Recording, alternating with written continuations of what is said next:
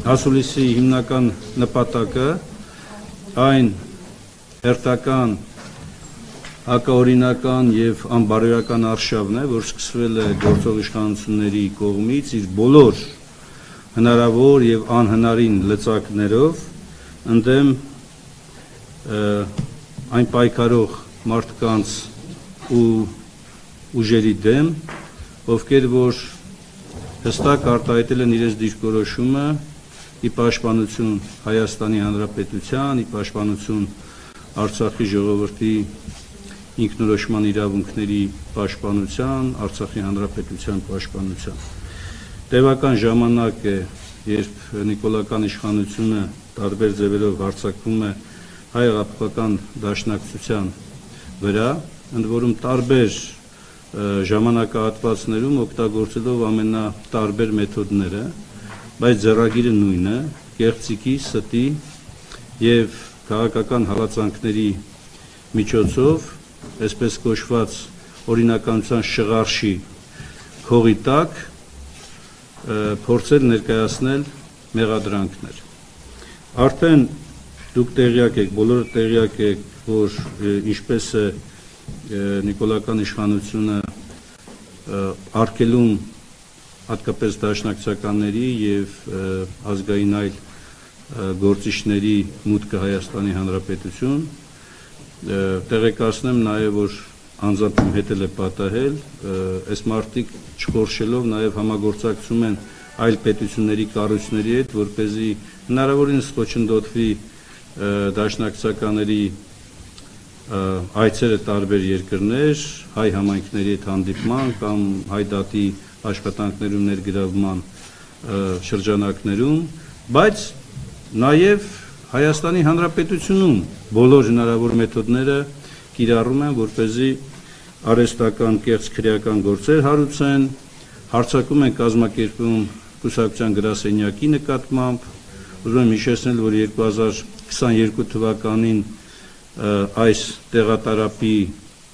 տակ էր Արմավիրի հայ-հեղափոխական դաշնակցության Արմավիրի մարզային կառույցը 23 թվականին Արարատի Իջևանի Տաուշի մարզի, հիմա արդեն անցել են Վայոց ծորի մարզի նկատմամբ արշավանքներին։ Տեղյակ եք նաև, որ իրականներ եւ այս պահի դրությամբ նաև նիկոլական քննչական համակարգի եւ իրենց վերահսկողության տակ գտնվող դատարանների դատավորների կողմից կայացվել է 5 երկու 5 կալանքի որոշումներ, ընդ որում բոլոր կալանքի որոշումները տեսակցության արգելմամբ է, սահմանափակում է տեսակցությունը մեր ընկերների, համակիրների։ Մենք ունենք այս պահի դրությամբ ուրեմն 5 կալանավորված անձ, որից 4-ը 2 ամսով, մեկը 1 ամսով, ունենք 3 տնային կալանք 2 ամսով, ունենք 1 գրավով եւ 1 բացակայելու արգելքով խափանման միջոց կիրառված անձինք։ Սա միայն վայոց ծորի մասն է խոսքը, խոսք չի գնում շարժման տաուշտը հանուն Հայաստանի հայրենիքի շարժման շրջանակներում ձերբակալված եւ այնուհետեւ կալանավորված կամ այս պահի դրությամբ քրեական հետապնդման մեջ գտնվող մեր ընկերները, համակիրները, այն հայերը, ովքեր որ կանգնած են հանուն Հայաստանի Հանրապետության, հանուն հայ ժողովրդի իրավունքների պաշտպանության։ Երկու, երեք օր է այս տեմպը հիշեցնում էր ամբողջությամբ բոլշևիկյան ժամանակահատվածի առաջին շրջանը, Ավիս Նուրիջանյանական, Աթարբերկյանական մոտեցումները, թե ինչպես էին փորձում ուղակի ձերբակալման եւ հոգեբանական ճնշումների, տարատեսակ մեթոդների միջոցով փորձել կորզել ինչ որ բաներ, որոնք իրականում չէին էլ կարող, որովհետեւ չկար այն այն հրաապարակային մեղադրանքը, որ հնչեցնում են եւ Նիկոլ Փաշինյանը ազգային ժողովի ամբիոնից փորձում է ներկայացնել, հիմա քննչական մարմինները եւ իրավապահ համակարգը ամբողջ ծավալով լծված է դրանք ապացուցելու կամ այդ ուղղությամբ փաստեր հավաքելու գործին։ Ուզում եմ հիշեցնել դրանցից մի քանիսը, առաջինը ճշնամանք սերմանելու նպատակով արցախցիների նկատմամբ կեղծ ու ստոր տեղեկություններ են հրապարակվում, իբր արցախցիները հանրահավաքներին մասնակցում են փողի համար կամ պարտադրում են հավաքներին մասնակցել որոշակի գումարի դիմաց, երկրորդը իբր թե փողեր են բաժանվում նյութական, այսպես կոչված շահագրգռվածություն անվանումներ դրեք վրեն խփել են, թե իբր դրա շրջանակներում հավաքագրվում են մարտիկ, որ เป զի հավաքներին մասնակցեն, ել չասած այն այլանդակությունները, որ ճշնամանք սերմանելու զուգահեռ ողջ համակարգը լծված է այս շարժումը վարկաբեկելու։ Մեր հաստաբանական թիմը ակտիվ ներգրաված է եղել այս քանի օրերին զուգահեռաբար կեղծ զանգվածային անկարգություններ հայտարարված գործողություններում եւ խուլիգանություն, հետո սկսում են հիմա տեխնոլոգիա են էլի կիրառում, սկզբում դնում են մի բան, հետո սկսում են վերափոխել բացի այն որ ներգրաված են այնտեղ մեր քաղաքացիների իրավունքների պաշտպանությամբ եւ գեր ծանրաբեռնված են զուգահեռաբար նաեւ վայոց ձորի մարզում այսպես ասենք հա դաշնակցական դաշնակցության գործ անունը sense ձևակերպենք այս կեղծ օրակարգի իշխանությունների կողմից բերված կեղծ ու ակնհայտ իրականության չհամապատասխանող հայտարարությունների ներքո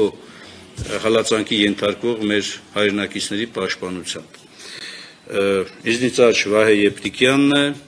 իզնից ցախ Արսեն Բաբայանը, ով նաև 5 փաստաբաններից մեկն է, ով 5 իրավաբաններից ոնց է կոչվում ձեր իրավապաշտպանների նախաձեռնություն 5 իրավապաշտպանների նախաձեռնությունների խմբի անդամ եւ Մկրտիչ Դավթյանը մեր այսօրվա կազմից բացակայում են Բենիկ Կալասյան կոնկրետ այս գործերով եւ Լուսինե Մարտիրոսյանը, որոնք տարբեր պատճառներով այլ Կարլեն Ավակյանը Կարլոսը Կարլեն Ավակյանը մեր ընկերը, հա, Կարլեն Ավակյանը, հա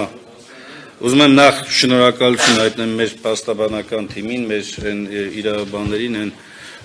քրտնաջան աշխատանքի համար, որ կատարում են այս օրերին այս պահին ակնհայտ է, որ այս գործը, ինչպես որ նախորդ գործերը հերանեկար չի կարող ունենալ, ինչպես նախորդ անգամ էր դա արդեն երկու տարի անցել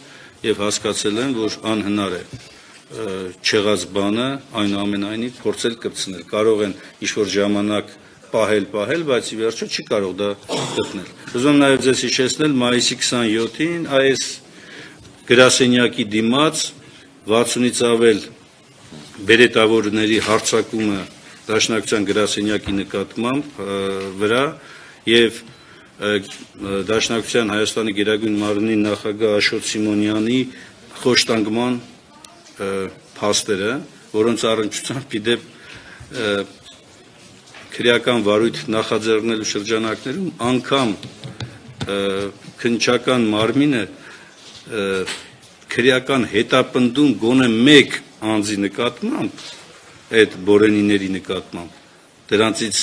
ակնառու երևացող, հա, առաջին գոնե 15-20-ը բարձ երևում են ովքեր են։ Դրանցից գոնե մեկի նկատմամբ քրեական հետապնդում չի արարել։ Հետո էլ խոսում են արդարության, արտարադատության, իրավունքի գերակայության մասին։